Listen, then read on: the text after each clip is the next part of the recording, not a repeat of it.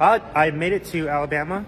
I've uh, dropped off my uh, last delivery, which was a Class A RV from Brighton, Michigan to Guntersville, Alabama, which was out in the middle of nowhere. Now I'm at the Birmingham Greyhound station where I'm going to take a two and a half hour Greyhound trip to Atlanta.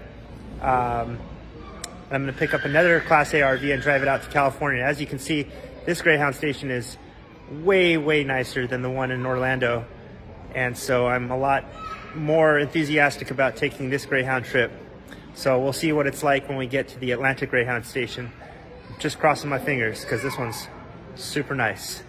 And it makes me a little bit more at ease about traveling on the Greyhound. Anyhow, I'll see you in Atlanta and um, I'll post again when I get there.